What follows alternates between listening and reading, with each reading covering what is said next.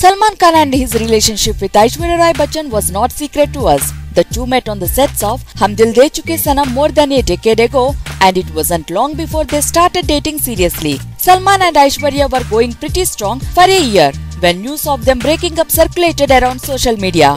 Turn out it was the ugliest breakup ever in Bollywood history. Let us know some shocking confessions made by Aishwarya on their breakup. We all know about the incident where Salman literally went throwing stones at Aishwarya's house and certain clips which stated that Salman would harass and hit Aishwarya. Salman later commented on the matter by apologizing below. Her parents were very nice people. They are orthodox like my family. They have heard about my past affairs and they didn't like me in the life of their daughter. It is my fault, not theirs.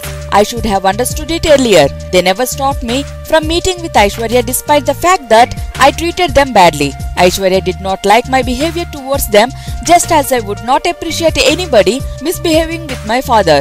Aishwarya's father is completely justified in complaining against me. I have no grudge against him. Their fights had got so worse that Salman actually got mad at Aishwarya and bashed her car up. There was a huge fight on the sets of Kuch Na Kaho as well. Also, Aishwarya later appeared with a fractured hand which suggested that something definitely has gone wrong between the two. Aishwarya also never kept quiet on the matter. She did clear the air by saying she fell down the stairs but also made another shocking comment on Salman which left Bollywood stunned. After we broke up, he would call me and talk rubbish. He also suspected me of having affairs with my co-stars. I was linked up with everyone, from Abhishek Bachchan to Shah Rukh Khan.